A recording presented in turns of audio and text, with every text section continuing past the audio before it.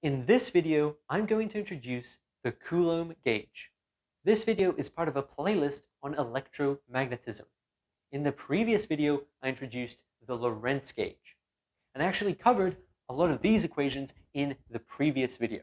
But I'm going to give a quick overview if you haven't seen that video. So these two green equations are a way of expressing the electric and magnetic fields in terms of the scalar and vector potential. So phi and A are the scalar and vector potential, and we actually have freedom to choose these guys. We have freedom to impose conditions on them. Because you can actually find gauge transformations, which are discussed in a previous video, and these gauge transformations allow you to switch in between different phi's and A's. And those different phi's and A's actually correspond to the same electric and magnetic fields. And if you do a gauge transformation, you are guaranteed that the electric and magnetic fields will be the same. You'll still have the same physical experimental results because this is what the charges uh, in an experiment are going to respond to. They're going to get a force, a nudge from the electric and the magnetic fields. So that is the property of gauge invariance. It allows us to switch between different values of phi and A. And if we impose a certain condition, that is going to allow us to simplify some equations. So have a look at this blue and this red equation over here. They contain all of the information that is contained in Maxwell's equations. But Maxwell's equations, well, there's four of them. And we have, uh, all of them are first order partial differential equations. So what this does is it repackages Maxwell's equations in two separate equations. And these, these two equations are second order differential equations. So they're second order partial differential equations, and they are inhomogeneous because they have source terms. So we actually derive both of these guys in a previous video. So make sure you watch all those derivations so you can see where these equations come from. And another quick little side note, this over here is the D'Alembertian or the D'Alembert operator. And it is a generalization of the Laplacian to four-dimensional space-time. So this over here is the Laplacian for three-dimensional space, and this is the D'Alembertian, which generalizes the Laplacian to four-dimensional space-time. And we're using a convention uh, that puts a minus sign in front of the temporal component and puts plus signs in front of the spatial components. So that is just a convention. You can switch uh, those uh, minus signs around as long as the temporal and spatial components have opposite sign and you're doing it consistently. That is called the signature of the metric in special relativity. So now let's have a look at the Coulomb gauge. We have all of this background information. What we're going to aim to do with the Coulomb gauge is we're going to try and simplify this blue equation and this red equation. So th these guys are pretty complicated. First of all, they're coupled. So this equation influences this equation because A and phi appear in both of these equations. So it would be nice to get rid of the dependence. In the previous video where we had the Lorentz gauge, we actually isolated A and isolated phi. We just had an equation uh, that's actually known as the inhomogeneous wave equation for both A and phi. So we didn't have A and phi mixed together as we do over here. So how can we get rid of A in this equation? Well, we could set this equal to zero, and that is the Coulomb gauge. The Coulomb gauge says that we have to specify the divergence of A. In the Lorentz gauge, we also specify the divergence of A, but we actually we set it equal to a time derivative of phi with a factor of 1 on c squared. And there's also a minus sign. But over here, what we're going to do is we're going to do a, a much more simple specification. We're just going to set the divergence of A equal to 0. And if we set the divergence of A equal to 0, that's going to make this term disappear. And we, you might actually be familiar with this in the case of statics situations. Sometimes it's convenient to set the divergence of the vector potential equal to 0. And over here, it's very convenient because it's going to wipe out this term. What we're going to have is just 0 over here, and the partial time derivative of 0 is 0. So what's going to happen to the blue equation? Well, this is what we're going to get. We're going to get the Laplacian, this is the Laplacian operator, acting on phi, and this is going to disappear, and that's just going to be equal to minus rho on epsilon naught. And this is actually Poisson's equation. So I'll write that on the side over here. So what we have is Poisson's equation. So Poisson, French guy, and this is his equation.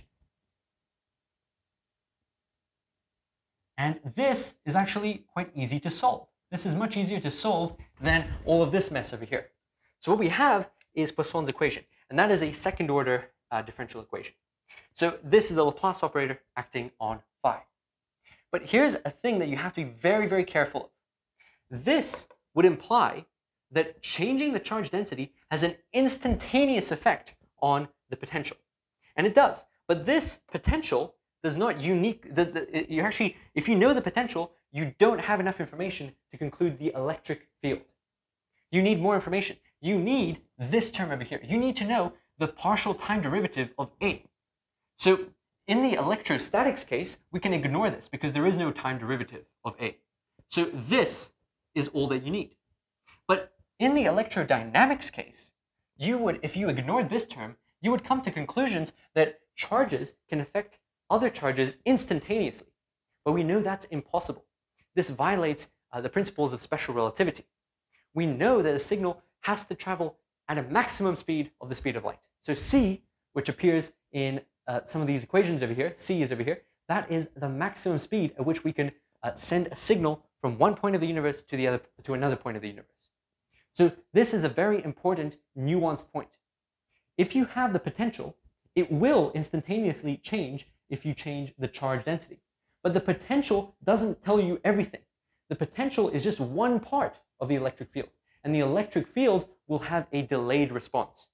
So if you move some charges in this part of the universe, then you're going to have to wait until that signal propagates through space and reaches another point in space. And that's when you're going to get a, a, a response to that initial movement of charge.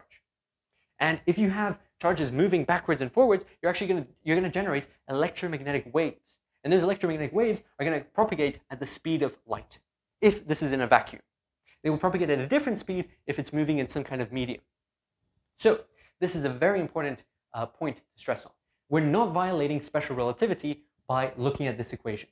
That's because the electric field does not uh, just depend on phi, it also depends on A. So we have to look at this red equation. Let's see what happens to the red equation. So the red equation is still going to have this D'Alembertian operator. So we can write that down over here. So we're still going to have the D'Alembertian operator, or the D'Alembert operator, acting on A. But this is going to get simplified over here. We're going to lose this divergence because we're setting that equal to 0. We're choosing A and phi so that this guy has to be equal to 0. So let's write that out over here. We're going to have minus the gradient of what's left? Well, we have 1 on c squared times the partial time derivative of phi. That's on the left-hand side. And on the right-hand side, we still have the source term, which is minus mu naught times j. And j is the current density. So this is the simplified version of the red equation. It's still a little complicated because this is actually quite difficult to work out. So finding A is not a trivial task, but finding phi is very easy. So if you're only interested in finding the potential, as is the case in electrostatics, then the Coulomb gauge would actually be very convenient because you just have to solve the Poisson equation. And this is a relatively easy uh, partial differential equation to solve. It's not homogeneous. If there was no charge, you would just set this equal to zero and then it would be homogeneous. But in general, if there is some kind of charge density, this is inhomogeneous. So you're dealing with the inhomogeneous Poisson equation. But down over here, you're dealing with this far more complicated equation. So what you could do is you could solve for phi given rho, and then you could put that phi inside here, and you're also uh, usually given j, so j is all the currents. So you know j, you know phi from this equation up here, indirectly because you know rho, and that can allow you to find a. So once you have a, and phi, you can find the electric and magnetic fields. So it is quite, uh, quite a, a complicated story, but it is useful. This is very useful. This framework, this mathematical framework for classical electrodynamics is very useful. It's a lot easier to think in terms of phi and A than in terms of E and B sometimes.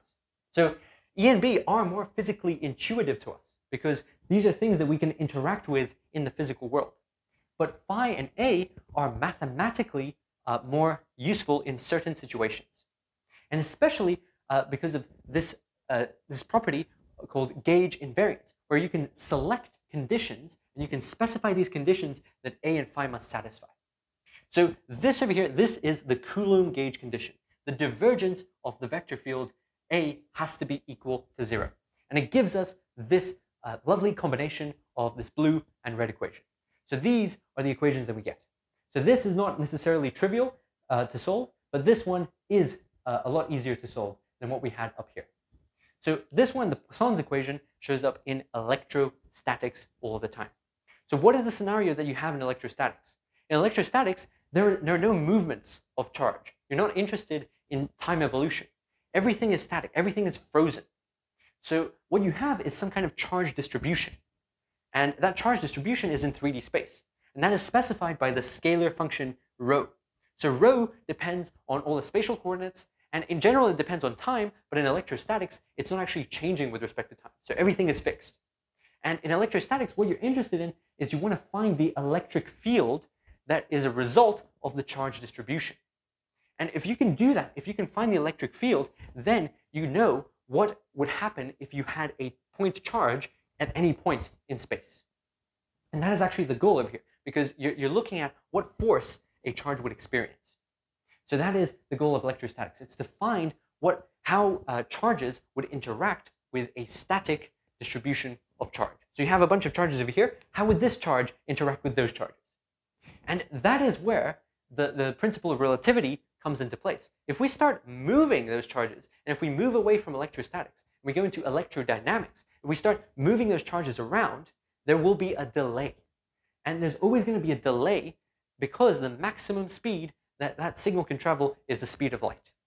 And that delay uh, is taken into account by this term over here. So as soon as you start moving those charges around, you don't have enough information in phi, you need to find A as well, and that will determine the electric field.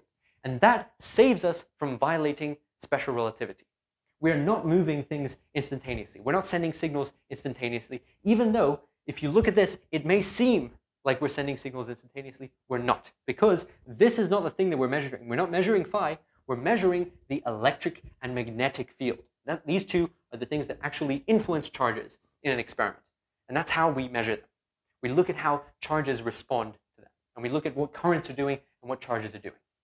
So this was a video based on the Coulomb gauge. So hopefully now you understand what uh, the Coulomb gauge can do for us and how it can simplify these two second order partial differential equations and how it can help us find phi and A and then in turn help us find E and B, which is the goal of classical electromagnetism.